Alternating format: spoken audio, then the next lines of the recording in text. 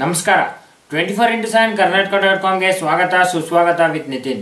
ನಾವು ಈಗ ಭೇಟಿ ಮಾಡಲು ಬಂದಿರುವಂಥದ್ದು ಆ ದಾವಣಗೆರೆ ಡಿಸ್ಟಿಕ್ ಹರಪನಹಳ್ಳಿ ತಾಲೂಕಿನ ಕಮ್ಮತ್ತಳ್ಳಿ ಗ್ರಾಮ ಪಂಚಾಯತಿ ಮೆಂಬರನ್ನು. ಇವರೊಬ್ಬರು ಹಿರಿಯ ವ್ಯಕ್ತಿಯಾಗಿ ಇಟ್ಕೊಂಡು ಇದೇ ಫಸ್ಟ್ ಟೈಮ್ ಇದೇ ಎರಡನೇ ಟೈಮ್ ನಿಂತು ಗೆದ್ದೆಯ ಮೆಂಬರ್ ಆಗಿ ಜನಸೇವೆಯನ್ನು ಮಾಡ್ತಾ ಬರ್ತಾ ಇದ್ದಾರೆ. ಬನ್ನಿ ಕೂಡ ಕುರಿತಾದ ಒಂದು ಕಿರುಪರಿಚಯನ ಮಾಡಿಕೊಳ್ಳೋಣ. ನಮಸ್ಕಾರ ಸರ್. ನಮಸ್ಕಾರ. ಸರ್ ನಿಮ್ಮ ಹೆಸರು ಸರ್? ನನ್ನ ಹೆಸರು ತಿಪ್ಪಣ್ಣ ಅಂತ ಹೇಳಿ. ತಿಪ್ಪಣ್ಣ ಅಂತೇಳಿ ಸರ್ ಯಾವ ಗ್ರಾಮ ಪಂಚಾಯತಿಯಿಂದ ಗೆದ್ದಿ ನೀವು ಇದು ಎರಡನೇ ಬಾರಿ ಆಯ್ಕೆ ಆಯ್ತಾ ಬಂದು? ಇದು ಕಂಬತ್ತಳ್ಳಿ ಗ್ರಾಮ ಪಂಚಾಯತಿ ಗುಣಗಟ್ಟಿ ಗ್ರಾಮ ಪಂಚಾಯತಿ. ಕುಣಗಟ್ಟಿ ಗ್ರಾಮ ಪಂಚಾಯತಿ. ಕಂಬತ್ತಳ್ಳಿ ವಾರ್ಡ್. ಕಮ್ಮತ್ತಳ್ಳಿ ವಾರ್ಡ್. ಎರಡನೇ ವಾರ್ಡ್ ಗೆದ್ದಿದ್ದೀವಿ. ಸರ್ ಇದು ಫಸ್ಟ್ ಟೈಮ್ ನಿಂತು ಗೆದ್ದಿದ್ದು ಎರಡನೇ ಟೈಮು ಏನು ಅನಿಸ್ತದೆ ಸರ್ ರಾಜಕೀಯ ಜೀವನ? ರಾಜಕೀಯ ಜೀವನ ಚೆನ್ನಾಗೆ. ಅಂದರೆ ಈ ಬಡವ್ರನ್ನ ಇದು ಏಳಿಗೆ ಆಗಿ ಇದನ್ನ ಮಾಡ್ಕೊತ ಹೋಗ್ತಾ ಇರ್ತಾವಲ್ಲ ಅದಕ್ಕಾಗಿನ ನಮ್ಮನ್ನ ಏನು ಮಾಡ್ತಾರೆ ಅಂದರೆ ಎಲೆಕ್ಟ್ ಮಾಡ್ತಾರೆ. ನಾವು ನಿಂತ್ಕೊಂಡಿದ್ರು ಇಲ್ಲ, ನೀವೇ ನಿಂತ್ಕೊಂತ ಹೇಳಿ ಇದು ಮಾಡಿ, ಪ್ರೋತ್ಸಾಹ ಮಾಡಿ ನನ್ನೆಲ್ಲ ನಿಲ್ಲಿಸಿದ್ದಾರೆ ಯಾಕಂದರೆ ನಾವೆಲ್ಲ ಮುಂಚಿತವಾಗಿ ಐದು ವರ್ಷ ಸರ್ವಿಸ್ ಆಗಿದ್ದೆ.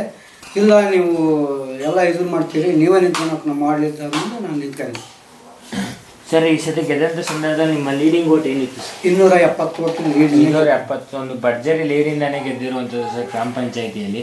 ಯಾವ ಪಕ್ಷಕ್ಕೆ ನೀವು ಬೆಂಬಲವನ್ನು ಸೂಚಿಸ್ತಾರೆ? ನಾವು ಬಿ ಜೆ ಪಿಲಿದ್ದ ಎಂಬತ್ನಾಲ್ಕನೇ ಇಸ್ವಿಗಳದ್ದು ಬಿ ಜೆ ಪಿಲಿದ್ದಲೇ ನಾವು ಗುರುತಿಸ್ಕೊಂಡು ಗುರುತಿಸ್ಕೊಂತ ಬಂದಿದ್ದೀವಿ.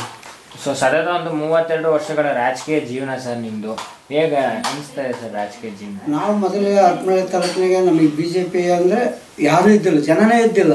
ಏನು ಒಬ್ಬರೇ ಇಬ್ಬರು ಕುಂದಿರ್ತಿದ್ವಿ ಕುಂತ್ಕೊಂಡಾಗ ಹಿಂಗೆ ಮತ್ತು ಹಿರಿಯ ಒಬ್ಬರು ಇವರಿದ್ರು, ಗುರುಲಿಂಗಪ್ಪ ಅಂತ ಹೇಳಿ, ನಮ್ಮ ಹರಪನಹಳ್ಳಿ ತಾಲೂಕಿನಾಗ ಅವರು ಅಧ್ಯಕ್ಷ ಇದ್ದರು ನಾನು ಆ ಟೈಮ್ನಲ್ಲಿ ಉಪಾಧ್ಯಕ್ಷ ಇದ್ದೆ. ನಮ್ಮ ನಂಜನಗೌಡರು ಅಂತ ಇದ್ದರು ಅವರು ಈಗ ತಾಲೂಕು ಅಧ್ಯಕ್ಷ ಇದ್ದಾರೆ ಮಾಜಿ ಅಧ್ಯಕ್ಷ ಈಗ. ಅವರಿಂದ ನಾವೆಲ್ಲ ಬಿ ಜೆ ಪಿಲಿದ್ದ ಗುರುಸಿ ಅಂತ ಬಂದಿರೋದಕ್ಕೆ ಆಮೇಲೆ ಒಂದು ಏನೇ ಇರಲಿ, ಸಣ್ಣ ಕಾರ್ಯಕ್ರಮ ಇದ್ದರೂ ನಾವೇನೋ ಬಸ್ ಚಾರ್ಜಿಗೆ ಅವ್ರನ್ನ ಇವ್ರನ್ನ ಕರ್ಕೊಂಡು ಹೋಗೋದು ನಮ್ಮ ಇದರಲ್ಲಿದ್ದಲೇ ನಾವು ಓನ್, ಇದರಲ್ಲಿದ್ದ ಎಲ್ಲರನ್ನೂ ಅರ್ಕೊಂಡಿ ಕರ್ಕೊಂಡು ಹೋಗೋದು, ಅಲ್ಲೆಲ್ಲ ಇದು ಮಾಡೋದು. ಎಲ್ಲವೂ ಯಾವುದೇ ಒಂದು ಸ್ಟ್ರೈಕ್ ಇರಲಿ, ಯಾವುದೇ ಒಂದು ಒಳ್ಳೆಯ ಕಾರ್ಯಕ್ರಮ ಇರಲಿ, ಊರಾಗ ನೀರಿಲ್ಲದ್ರು ಅವ್ರಿಗೋಗಿ ತಾಲೂಕ್ ಪಂಚಾಯತಿಗೆ ನಾವು ಇದು ಮಾಡ್ಬೇಕಾಯ್ತಲ್ಲ? ಜಿಲ್ಲಾ ಪಂಚಾಯತಿಗೆ ಹೋಗಿ ಭೇಟಿ ಮಾಡ್ತಿದ್ವಿ. ಅಲ್ಲಿ ಇಂಜಿನಿಯರ್ಗೆ ಹೇಳಿ, ಇಲ್ಲ ಈ ಥರ ಈಗ ನಮ್ಮ ಊರಾಗ ತೊಂದರೆ ಅದಾವು ನಮಗೆ ನೀರಿನ ತೊಂದರೆ ಅದಾವು ಮಾಡಿಕೊಡ್ರಿ ಅಂದಾಗ ಅವರೆಲ್ಲ ಸ್ಪಂದನೆಯಿಂದ ಇದು ಮಾಡ್ತಾರೆ ಅವಾಗಿಲ್ಲಿದ್ದನೂ ನಾವು ರಾಜಕೀಯ ರಾಜಕೀಯದಿಂದ ಇದು ಮಾಡ್ಕೊತ ಬಂದಿದ್ದೀವಿ. ಸರ್ ಈಗ ಸತತವಾಗಿ ಒಂದು ಒಂಬತ್ತು ವರ್ಷ ಸರ್ವಿಸ್ ನಿಮ್ಮ ಗ್ರಾಮ ಪಂಚಾಯತಿಯಲ್ಲಿ ಕಳೆದಿದ್ದೀರಾ ಸರ್? ಈ ಅವಧಿಯಲ್ಲಿ ನಿಮ್ಮ ಗ್ರಾಮದಲ್ಲೆಲ್ಲ ಏನು ಕೆಲಸ ಕಾರ್ಯಗಳಾಗಿದೆ ಸರ್? ನಮ್ಮ ಗ್ರಾಮದಲ್ಲಿ ಮನೆ ಇಲ್ದಾರೆ ಬಡವರಿಗೆ ಈ ಗುಡಿಸಲು ಮನೆ ಇದ್ದವರಿಗೆ ನಾವು ಅವ್ರಿಗೆ ಮನೆ ಸ್ಯಾಂಕ್ಷನ್ ಮಾಡಿ ಈ ಗುರ್ತು ಗುರ್ತ ಮಾಡಿ ಯಾರು ಬಡವರು, ಕಡು ಬಡವರು ಅದರ ಅಂತ ಹೇಳಿ ಅವ್ರಿಗೆಲ್ಲ ನೀರು ವ್ಯವಸ್ಥೆ ಮಾಡ್ತೀವಿ ಆಮೇಲೆ ಊರಲ್ಲಿ ಸ್ವಚ್ಛತೆ ಇದು ಮಾಡ್ಕೊಂಡು ಚರಂಡಿ ಮಾಡ್ತಿದ್ದೀವಿ ಆಮೇಲೆ ಕಾಂಕ್ರೀಟ್ ರೋಡ್ ಮಾಡಿಸಿದ್ದೀವಿ. ಆಮೇಲೆ ಇದು ಗೋಕಟ್ಟಿ ಅಂತ ಹೇಳಿ ದನ ಕರುಗಳಿಗೆ ಇದು ಆಗಕ್ಕೆ ಅವ್ರಿಗೆ ನೀರಿನ ವ್ಯವಸ್ಥೆ ಮಾಡಿದೆವು ಆಮೇಲೆ ಊರಲ್ಲಿ ನೀರಿನ ಭಾಳ ತೊಂದರೆ ಇತ್ತು ಎಲ್ಲ ಊರು ಸುತ್ತಲೂ ಬೋರ್ಗಳು, ಒಂದು ಐದಾರು ಬೋರ್ ಇದಾವೆ ನಮ್ಮೂರಲ್ಲಿ. ನೀರಿನ ತೊಂದರೆನೇ ಇಲ್ಲ. ಆ ಥರ ಎಲ್ಲ ಊರಲ್ಲಿ ಮಾಡ್ಕೊತ ಹೋಗ್ತಾರೆ. ಒಂದು ಅಂದಾಜು ಎಷ್ಟು ಮನೆಗಳಾಗಿದೆ ಸರ್ ಈಗ ನಿಮ್ಮ ಪೀರಿಯಡಲ್ಲಿ? ನಮ್ಮ ಪೀರಿಯಡಲ್ಲಿ ಈಗ ಈಗ ಐದು ವರ್ಷ ಅವಾಗೆಲ್ಲ ಮನೆಗಳು ಇದ್ದಿಲ್ಲ ಹೆಚ್ಚಿಗೆ. ಈಗ ಹೋದ ಸಲ ನಮ್ಮ ಇವರು ಯಡಿಯೂರಪ್ಪರು ಇದ್ದಾಗ ಬೇಕಾದಷ್ಟು ಮನೆಗಳು ಕೊಟ್ಟರು. ಈಗ ಆದರೂ ಕಡಿಮೆನ ಸ್ವಲ್ಪ.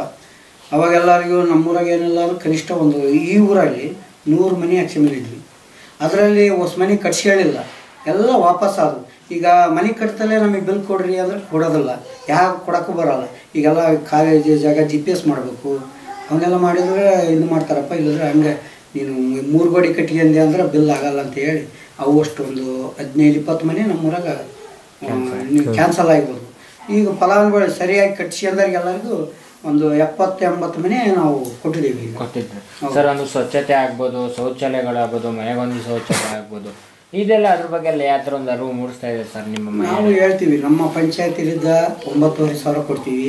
ಎನ್ ಆರ್ ಎಜ್ಗಳಿದ್ದ ನಾಲ್ಕು, ಇದು ಹ್ಞೂ ಎನ್ ಆರ್ ಎಜ್ಗಳಿದ್ದ ನಾಲ್ಕು ಸಾವಿರ ಚಿಲ್ಲರೆ ಕೊಡ್ತೀವಿ. ಇನ್ನೂ ನಾಲ್ಕು ಸಾವಿರ ನಮ್ಮ ಇದರಲ್ಲೇ ಕೊಡ್ತಾರೆ. ಚೆಕ್, ಡೈರೆಕ್ಟ್ ಚೆಕ್ ಕೊಡ್ತಾರೆ. ಅವನ್ನೆಲ್ಲ ಕಟ್ಸಿ ಹೇಳ್ರಿ ಯಾಕಂದರೆ ಹೆಣ್ಮಕ್ಳು ಹೊರಗಡೆ, ಈಗ ಯಾಕಂದರೆ ಈ ಪರಿಸ್ಥಿತಿ ಸೊ, ಚೆನ್ನಾಗಿರ್ಬೇಕು. ಹೆಣ್ಮಕ್ಳಿಗೆ ತೊಂದರೆ. ಇನ್ನು ಗಂಡು ಮಕ್ಕಳಾದ್ರೆ ಆ ಕಡೆ, ಈ ಕಡೆ ಹೋಗ್ಬೋದು. ಮನೆಯಲ್ಲಿ ಇದ್ದರೆ ಚೆನ್ನಾಗ ನೀವು ಹೆಣ್ಮಕ್ಳಿಗೆ ಒಂದು ಸಂಸ್ಕೃತಿ ಉಳಿತೈತಿ. ಈ ಸಂಜೆ ಆದ ಪಾಪ ಅವ್ರು ಏನು ಮಾಡ್ಬೇಕು ಗೊತ್ತಾ? ಸಂಜೆ ನೋಡೇ ಹೋಗ್ಬೇಕು. ಆ ಟೈಮು ಆ ಥರ ಇದೆ ಒಂದು ಮನೆಗಳಿಗೆ ಹೋಗಿ ಎಲ್ಲರಿಗೂ ಇಲ್ಲ, ನೀವು ಶೌಚಾಲಯ ಮಾಡಿಸ್ಕೋಬೇಕು. ನಮ್ಮ ಪಂಚಾಯತಿಲಿದ್ದ ಒಂಬತ್ತುವರೆ ಸಾವಿರ ಕೊಡ್ತೀವಿ. ಎಲ್ಲ ನೀವು, ನಿಮಗೆ ಆಗಲಿದ್ರೆ ನೀವೇರ ಹೇಳ್ರಿ. ನಮ್ಮ ನಾವು ಪಂಚಾಯತಿಲಿದ್ದ ಇದನ್ನಾರ ಮಾಡಿಸಿ ಒಂದು ಟೆಂಡರ್ ಮುಖಾಂತರ ಆಗಲಿ ಕೊಟ್ಟು ನಾವು ಮಾಡಿಸ್ತೀವಿ. ನಿಮ್ಮ ಕೈಲಿ ಅಕ್ಕತಿ ಅಂದ್ರೆ ಮಾಡಿಸ್ಕೊಳ್ರಿ. ನಮಗೆ ನಮಗಾರ ಹೇಳ್ರಿ. ನಾವು ಎಲ್ಲ ಯಾರಿಗೆ ಅದಕ್ಕೆ ಸಂಬಂಧಪಟ್ಟ ಆಫೀಸರ್ಗಳಿಗೆ ಹೇಳಿ ಮಾಡಿಸ್ತೀವಿ ಅಂತ ಹೇಳಿದ್ವಿ. ನಾವು ಸರ್, ಒಂದು ಕುಡಿಯೋ ನೀರಿನ ವ್ಯವಸ್ಥೆ ಆಗ್ಬೋದು, ಒಂದು ಶುದ್ಧ ನೀರಿನ ಘಟಕಗಳಾಗ್ತಾ ಇದೆ ಸರ್ ಎಲ್ಲ ಕಡೆ. ಸೊ ಆ ಥರದ ಒಂದು ಪ್ರೋಗ್ರೆಸ್ ಯಾವ ಥರ ಇದೆ ಸರ್ ನಿಮ್ಮ ನಮ್ಮಲ್ಲಿ ಫಸ್ಟಿಗೆ ನಮ್ಮೂರಲ್ಲಿ ಬಂದರು ಅವಾಗ ಇಲ್ಲ, ನಿಮಗೆ ಜಾಗ ಕೊಟ್ಟರೆ ನಾವೆಲ್ಲ ಇಲ್ಲಿ ಈ ಕುಡಿಯೋ ನೀರಿಂದ ಇದು ಮಾಡ್ತೀವಿ ಅಂದರೆ ಅಲ್ಲಿ ಇತ್ತು ನಮ್ಮ ಸಂಘದ ಅದು ಹೋಗಿ ತೋರಿಸಿದ್ವಿ, ಎಲ್ಲ ಈಗ ಒಳ್ಳೆ ಕುಡಿಯೋ ನೀರಿಂದ ಸಲಕರಣೆ ಐತಿ. ಫಿಲ್ಟರ್ ನೀರು ಬರ್ತಾವಲ್ಲ, ಶುದ್ಧ ನೀರು, ಅವೆಲ್ಲ ಇಲ್ಲಿ ನಮ್ಮೂರಲ್ಲೇ ಐತಿ. ಆಮೇಲೆ ಸ್ವಲ್ಪ ಪುಣಗಟ್ಟಿಗೆ ಒಂದು ಇದು ಮಾಡಿದ್ದಾರೆ. ಅದು ಇನ್ನೂ ಅಲ್ಲಿ ಓಪನ್ ಆಗಿಲ್ಲ. ಇನ್ನು ಮಿಷನ್ಗಳು ಕೊಂಡಿಸಿಲ್ಲ ಇನ್ನೂ ಎಚ್ಚೆತ್ತವಾಗಿ ಅಲ್ಲೆಲ್ಲ ಹಳ್ಳಿ ಹಳ್ಳಿಗಳಿಗೆ ಆದರೆ ಭಾಳ ಚೆನ್ನಾಗವೆ. ಸರ್ ಇನ್ನೂ ಒಂದು ವರ್ಷ ಅವಧಿ ಇದೆ ನಿಮಗೆ.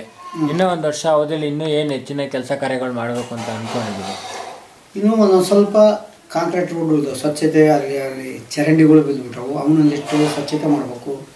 ಆಮೇಲೆ ಇನ್ನೂ ಅಷ್ಟು ಮನೆ ಇಲ್ಲದವರಿಗೆ ಇನ್ನೊಂದು ಒಂದು ಹತ್ತು ದಿನ ಈಗೆಲ್ಲ ಕಡಿಮೆಗಳು ರೀ ಮನೆಗಳು. ಅವರಿಗೆಲ್ಲ ಒಂದು ಈ ಸಲಕ್ಕೆ ಮಾಡಿಕೊಡ್ತಾವಪ್ಪ. ಈಗ ಸಿಕ್ಕಲಿದ್ರು ಈ ಸಲ ನಾವು ಮಾಡಿಕೊಡ್ತೀವಿ ಅಂತ ಹೇಳಿದ್ದೀವಿ ಅಲ್ಲಿ ಹೊನ್ನಾಪುರ ಅಂತ ಇದೆ.